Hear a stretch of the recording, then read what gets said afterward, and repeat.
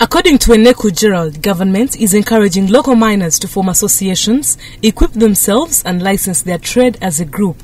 He says despite artisan miners being around for centuries, northern and eastern Uganda are just realizing the potential revenue these regions are missing from the minerals. Eneku, who tipped the miners and district officials at Acholi Inn Hotel in Gulu, says development minerals include sand, clay, aggregate, murram and many more. Generally, want them to, be an association like in the quarry. There are so many people who are in the quarry.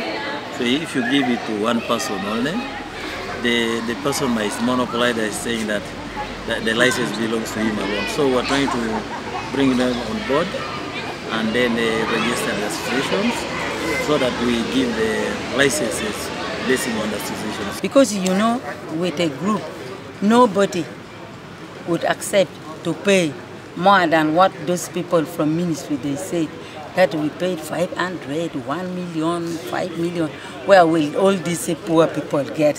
However, as an experienced economist, Mark Morrow, the regional director of the Uganda Chamber of Commerce, urges the miners to ditch ignorance and absorb the better way of trading. It has just been things to be seen, but not knowing the economic value. So, uh, investors in the country have come and utilize our ignorance. They have blasted those rocks.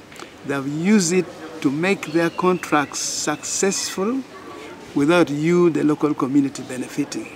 If the ministry succeeds in uniting the miners into associations, 8,000 shillings to 10,000 shillings for each tipper lorry sold by the association will be collected to spur the country's development.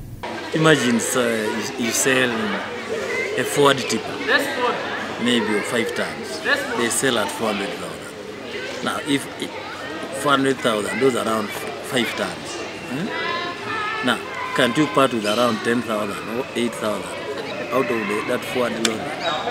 I don't think it's a lot of money. Despite the mining sector bringing 262 billion shillings as of July 2018, the ministry discourages the use of child labor, leaving excavation pits open, and the cutting of trees to crack the rocks. Artisan miners are rather advised to invest in explosives to blast the rocks and fight climate change. Report by Joseph Omagor for Urban TV.